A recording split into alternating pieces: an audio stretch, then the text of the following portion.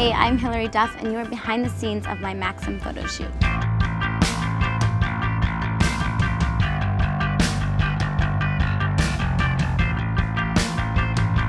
I'm so lucky that usually I get to work with people that I know, so my hair and makeup people I've worked with for years, and you kind of just come in and try on clothes, and they tell you what they're looking for, and uh, you get started. You know, it's it's pretty simple, but it's also a really fun thing to do. You know, as a girl, you get to get all dolled up and look really sexy and wear fun clothes that you obviously don't really wear on a daily basis. So it's always interesting.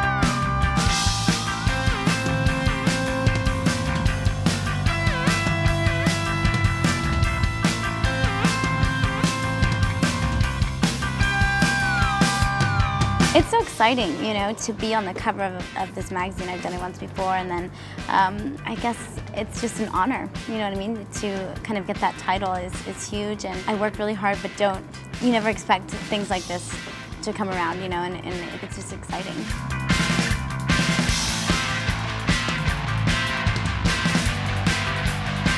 You know what, I took a lot of time off this summer, so it was really nice. I've been working since I was like 12, so um, making myself take a summer off and vacation and just be normal, you know, like sit on your couch in the middle of the afternoon and watch TV. It was really hard to do in the beginning, but this summer I was really lazy and it was really nice.